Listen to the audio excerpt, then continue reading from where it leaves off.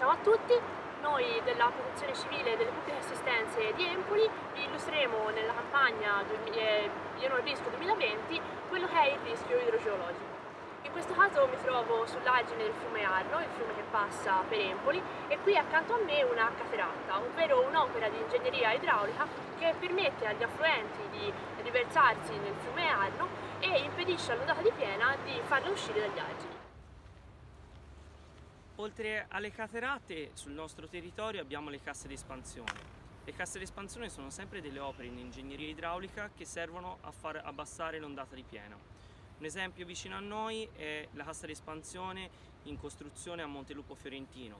Quando sarà conclusa eh, avrà la capienza di oltre 2 milioni di metri cubi d'acqua. La Regione Toscana mette a disposizione un servizio di monitoraggio e di allerta.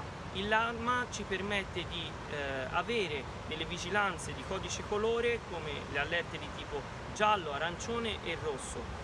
Eh, il CFR invece ci invia dati in tempo reale sul monitoraggio dei fiumi e della pluviometria.